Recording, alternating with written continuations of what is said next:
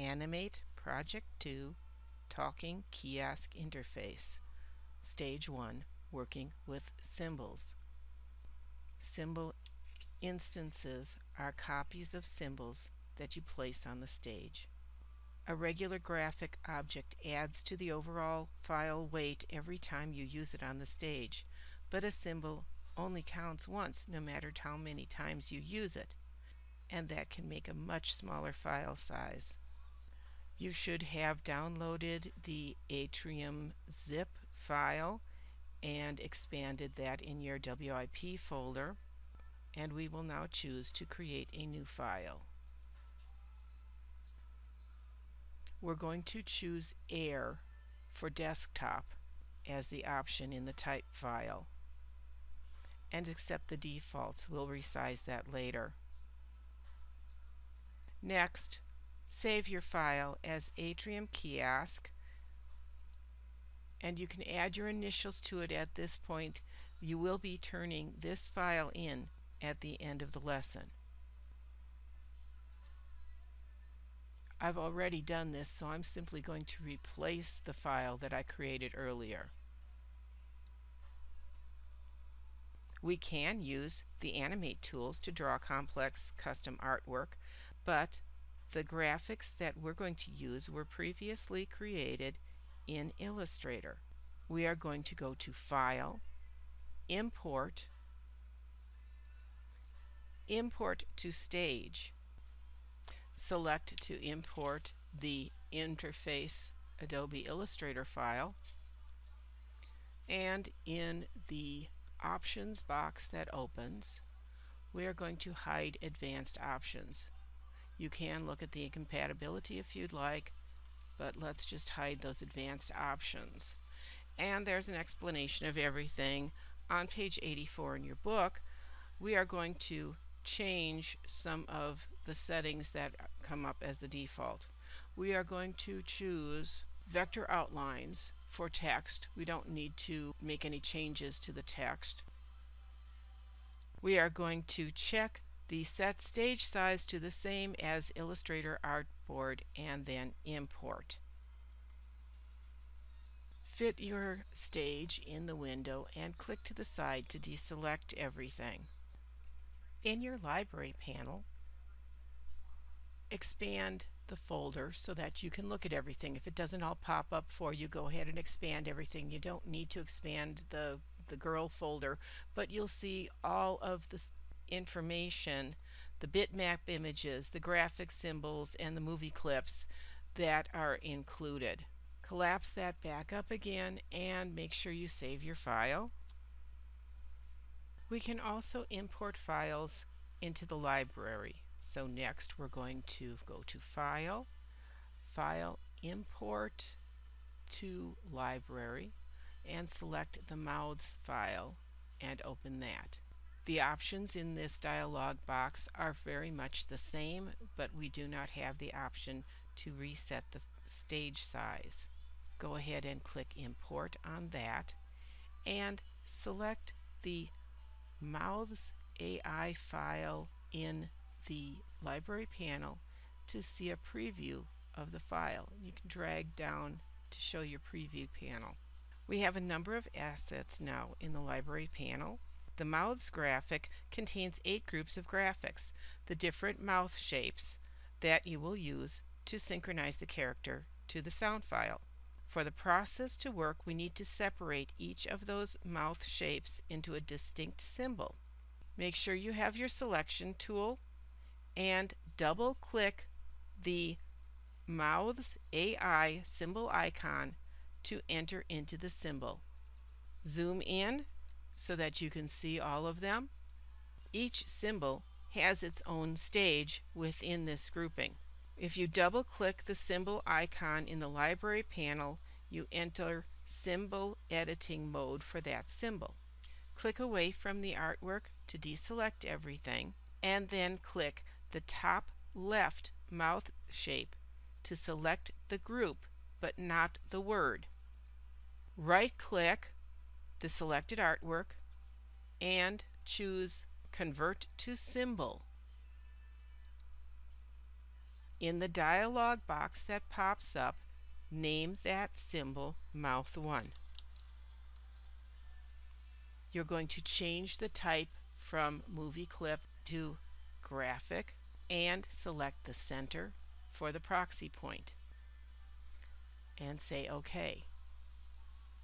Mouth 1 now appears in your library panel. Click the second shape, press F8 if that works for you, which will convert this to a symbol. The Convert to Symbol dialog box remembers the last used settings, so we already have type is graphic and the center proxy is selected and name this mouth 2. Continue to convert the rest of the mouth shapes into symbols.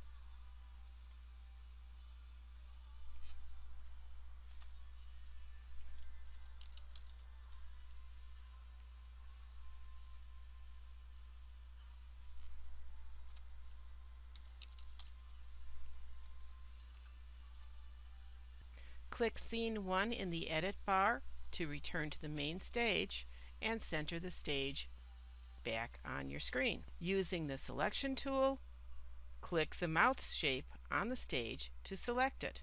In the Timeline panel, click the New Layer button to add a new layer. Name that layer Mouth.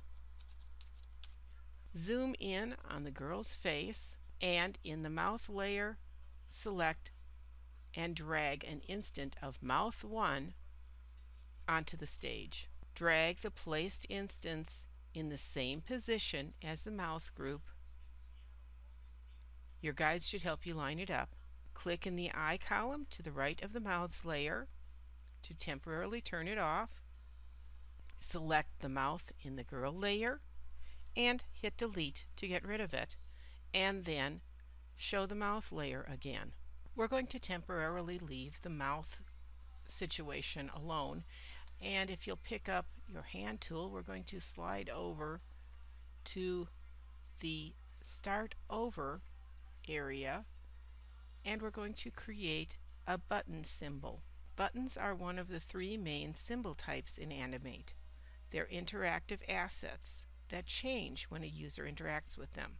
A button symbol, as most of us know, has four states.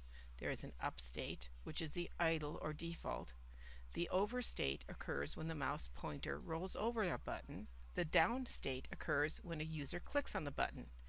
And the hit state defines the size of the hot spot on the button. This file includes five buttons. Four of them were created as symbols in the Illustrator artwork and one was imported onto the stage as part of the group. We're going to select with our selection tool the group containing the words start over. Press F8 if that works for you or right click the group and choose convert symbol. In the resulting box you're going to name this button start over and make sure that you don't leave just a space. You need to actually put in that underscore. We're going to choose button for the type and the center registration point on the proxy. We created the symbol from an object on the stage so the property panel shows that the selection is a new symbol. Double-click the Start Over button on the stage to enter into the symbol. We're now going to be editing in place. Other objects on the stage are visible, but they're screened out and we can't pick them up and access them. We're going to create the different states for this symbol. In the timeline panel, we now have the up, over, down, and hit. Right-click the over frame of layer 1 and insert a keyframe. Make sure that that keyframe is still selected and then double click the words start over.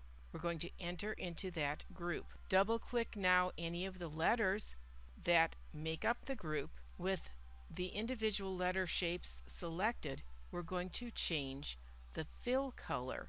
So pick up the fill color swatch and choose a medium blue. We can now click the Scene 1 in the Edit bar to return to the main stage.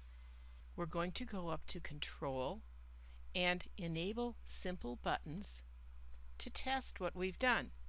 Drag your mouse over the text and you'll see that the text now changes from black to blue. We now have created our over state. But what we will also find is that in between the letters is a dead area. It doesn't change unless we're over part of the object. Choose Control, Enable Simple Buttons to turn that option off. Double click the Start Over button on the stage again to enter the symbol area. This time select the hit frame Press F6 to insert a keyframe. Choose the rectangle tool from the Tools panel and in the Properties panel make sure you deselect the Object Drawing toggle.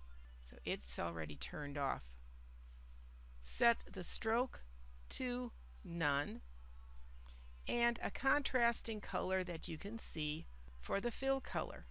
And then draw a rectangle that covers the entire contents of the button. It doesn't matter what color you choose because you're not going to see this. Next, select Scene 1 to return to the main stage.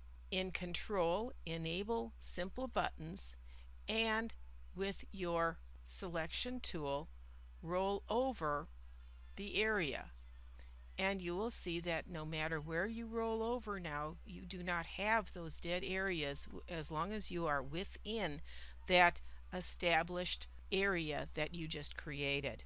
Save your file.